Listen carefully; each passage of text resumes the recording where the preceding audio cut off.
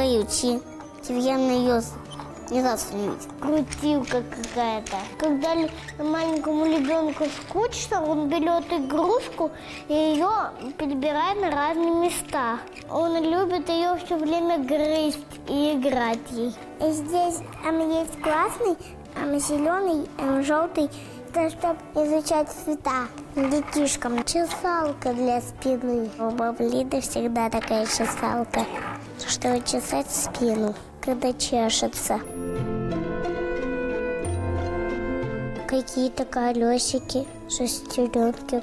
Это, кажется, запчасть от машины. Хоть какие-то цветочки получилось. Вот на вазу поставить. И мам подарить. Это погремушка для мышей. Он берет такую игрушку, цветочки катают ручки маленькие малышки. И гремят. Даешь погремушку, когда ребенок плачет. Он успокаивается. Похоже на какую-то черепаху. Такая блестящая, красивая.